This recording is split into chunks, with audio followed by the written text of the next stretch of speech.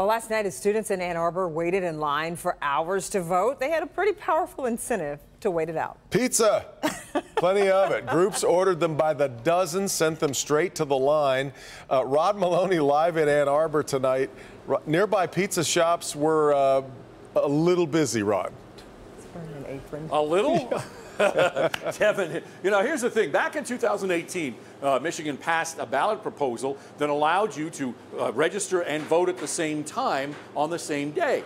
Uh, on even election day. And so what happens here is they take college kids and they bus them over to the polls. But you got to keep them engaged somehow. So what do you do? Well, you order pizza, and I mean a mountain of pizza. Only problem is that the shops probably aren't expecting on that day to get those kinds of orders. this was the scene last night. Hundreds of U of M students waiting in line to register and vote. And the Washtenaw Democratic Committee brought the pies. Hundreds of them. About 6:30, the tablet at Toarmina's on West Stadium rang out unexpectedly. Shop owner Neil Lasada was not prepared. Everyone was supposed to be expected to be at home watching the results and everything, so we expected that. We were even staffed for it. How many pizzas?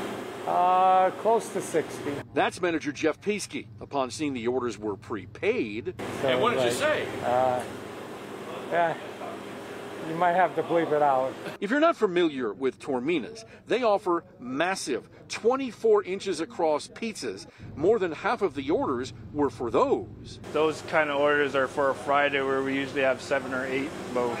They had three and needed to knock those pizzas out in an hour. It's like a Super Bowl day. Cried a little bit later, hugged each other, called our loved ones to say our goodbyes, and then got the order through. Neil's owned the shop for about a month now and hadn't made pizza before then. He got a quick education last night. If uh, Gretchen's watching, I would suggest do like a voting every week or something like that. Now, all joking aside, and this is Neil actually working here, he says that uh, next time he will be prepared and have more hands on deck. Back to you.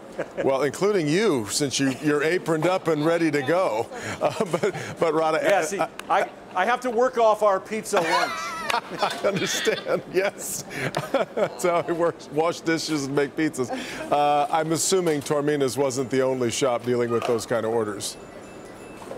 Right. There were several others, and from the larger chains from uh, Metro Detroit, right? Domino's and Little Caesars yeah, as well. Yeah. And these guys, they, they had three people on duty at the time. Can you imagine having to run those through this in an hour? It, it was a marathon.